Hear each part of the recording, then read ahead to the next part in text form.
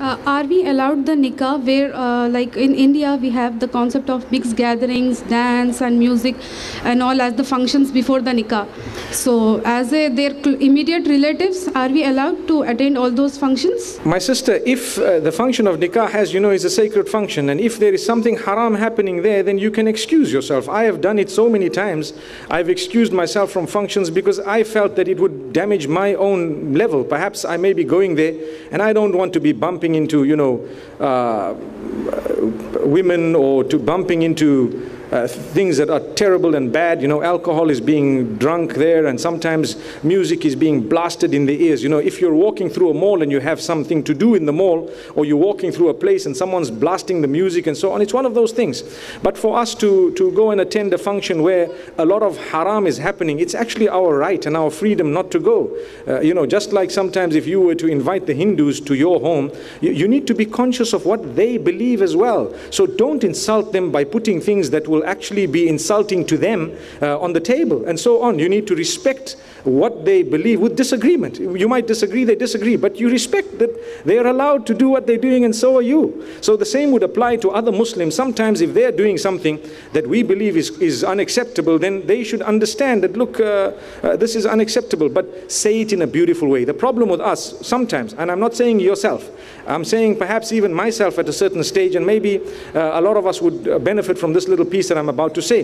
The problem is, when we turn to religion a little bit, we become a bit aggressive. And we think that, you know what, uh, the way I talk to someone is, is such that I'm holier than you and that's it.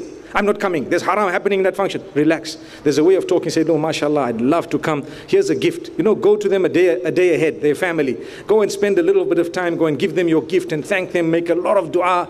And, you know, say something to them. You know, I may not be able to attend, uh, but, you know, that's it. I'll try my best. But X, Y, and Z. I recall a function that I was invited to. And I was told clearly that this function is completely separated. You see, if they tell you in advance what's going on, it's one of those things. And when I got there, I saw it totally mixed. So, on grounds of principle, of being lied to, I actually told him, Salamu alaikum, and I'm departing. And I departed. And I told the brother who had invited me, Look, my brother, I love you so much. I pray for you. Allah grant you success. And I hope, I wish all the best for you. But you know what? You actually deceived me. You told me that it's not going to be like this, and it is like this. He said, No, no, but you know this and you know that. And I said, Look, my brother, I really, I'm not saying it because I don't like you. I love you. But I won't be able to be there. And, and the reality is, you should have told me in advance. You made me travel all the way, you made me come all the way here, and this is what I found. So, this, I'm just telling you, I've done it. And whether people like you for that or not is one of those things. It's one of those things.